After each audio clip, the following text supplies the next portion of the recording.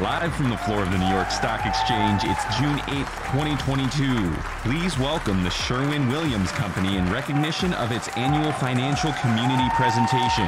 To honor the occasion, they will ring the opening bell.